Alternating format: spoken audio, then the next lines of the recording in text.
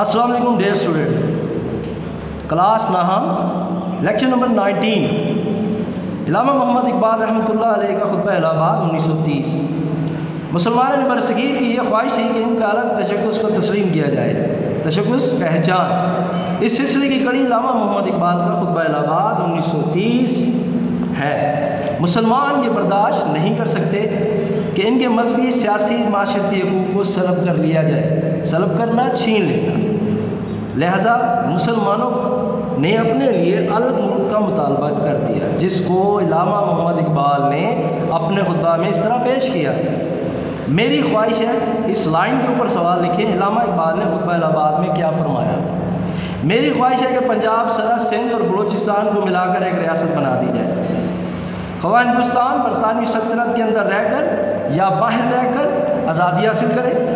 मुझे शुमार मगरबी मुस्लिम रियासत का क़्याम कम अज़ कम शुमार मगरबी इलाकों के मुसलमानों का मुकदर नज़र आता है। कायद अज़म की ख्वाहिश थी। कायद अज़म की क्या ख्वाहिश थी? यहाँ पर एक सवाल मेंशन कर दें आप कि मुसलमान बरसगीर में एक कुत बनकर उभरे। इलामा मोहम्मद इकबाल ने इस तस्वर को आगे बढ़ाते हुए खुद पहलाबाद में अलग रियासत का तस्वर दिया।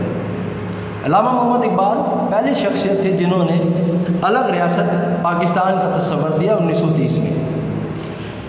1933 यहाँ पर सवाल मेंशन करें, लफ्ज़ पाकिस्तान का नाम कब तजवीज़ किया गया?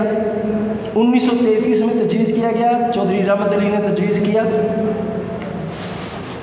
इलामा इकबाल के इस तस्वर को पाकिस्तान का नाम दिया। कायद अज़म रहमत ने उन्नीस में मुस्लिम लीग की बागडोर संभाली। कायद अजम ने मुस्लिम लीग की बागडोर कब संभाली? यहाँ पर सवाल मेंशन करें। कायद अजम ने मुस्लिम लीग की बागडोर कब संभाली? कायद अजम ने उन्नीस सौ चौंतीस में मुस्लिम लीग की बागडोर संभाली और मुसलमानों के लिए सियासी इसकाम इसकाम मजबूती के लिए इस जमात को मज़बूत और फहाल बनाया। फहाल काबिल अमल। इस बॉक्स में देखिएगा, क्या आप जानते हैं? यहाँ पर सवाल मेंशन करें गोल मेज कॉन्फ्रेंस कब और कहाँ हुई? गोल मेज कॉन्फ्रेंस कब और कहाँ हुई। पहली गोल मेज कॉन्फ्रेंस 1930 दूसरी 1931 तीसरी 1932 ये तीनों गोल मेज कॉन्फ्रेंस लंदन में थी। 1935 का आइन और सूबाई खुद मुख्तारी। ये 1935 का आइन, इसके बारे में कुछ मैं डिटेल फराम कर दूँ। 1935 का आइन अंग्रेज़ों का बनाया हुआ एक्ट था।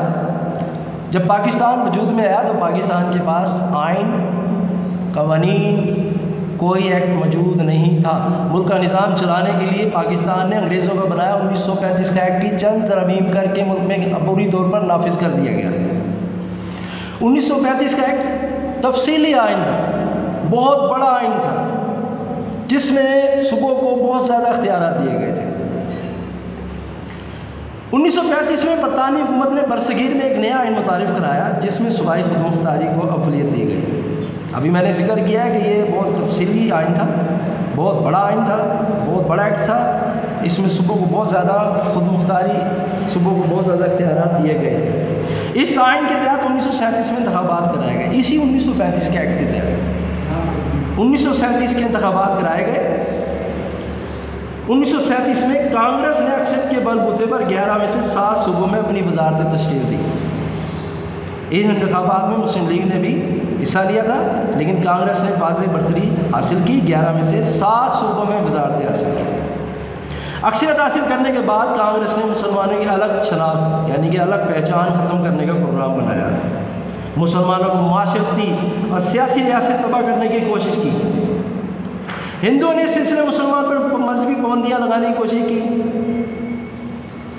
सकाफत, तहजीब रवायात अखलाकियात को तबाह करने की कोशिश की। मस्जिदों के बाहर शोर गुल करना शुरू कर दिया। मुसलमानों पर मुलाजमतों के दरवाजे बंद कर दिए गए। स्कूलों में उर्दू की जगह हिंदी राज करने की कोशिश की गई।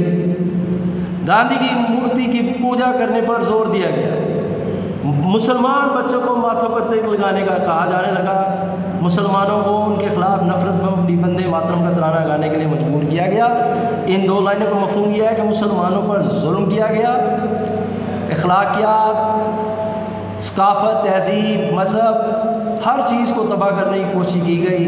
मुसलमानों को हिंदू बनाने की कोशिश की गई। इस रवैये को देखते हुए मुसलमानों में अलग मुल्क के मुतालबे का जज्बा और बढ़ गया। 1938 में पटना के मकाम पर मुस्लिम लीग के सालाना इजलास में मोहम्मद अली जिना को कायद अजम के लकब से नवाजा गया। कायद अजम के लकब से कब नवाजा गया? जवाब आप देंगे 1938 में पटना के मकाम पर। आपने अपनी सियासी बसीरत से इन साजिशों का डटकर मुकाबला किया और बिल आखिर कांग्रेस ने वजारतों से इस्तीफ़ा दे दिया। लिहाजा आपने इजहार तशक्र के लिए बाईस दिसंबर उन्नीस सौ उनतालीस को मुसलमानों से योम निजात मनाने की अपील की। उन्नीस सौ उनतालीस में जब कांग्रेसी वजारतों का खात्मा हुआ, कांग्रेसी वजारतों का खात्मा कब हुआ? यह सवाल मेंशन करें। जवाब देंगे उन्नीस सौ उनतालीस में। और कायद अजम और मुस्लिम लीग की अपील पर मुसलमानों ने बाईस दिसंबर उन्नीस सौ उनतालीस को योम निजात मनाया। सवाल तहरीर करें, योम निजात कब मनाया गया? जवाब बाईस दिसंबर उन्नीस सौ उनतालीस को। डियर स्टूडेंट ये था lecture number 19 page number 24 25 WhatsApp पर रबते में रहिएगा।